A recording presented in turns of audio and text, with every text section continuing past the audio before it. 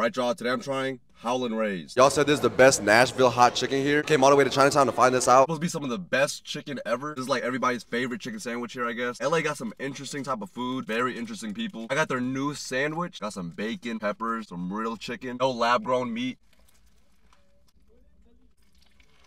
Peppers are so strong. Got it medium hot, not too spicy. Their sauce kind of tastes like honey mustard. Look how wet this gets. Gotta throw some honey on there. God, this chicken's deep in my guts right now. Yeah, this is the real deal. Gives it like a glazed taste. It's got me feeling sticky. Also got the whole bird.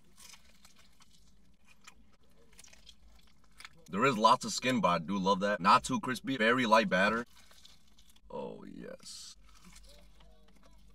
Bickle. Now I'm feeling all the spice. Literally sweating in here. They got lots of seasoning on here. It sits so well in the batter.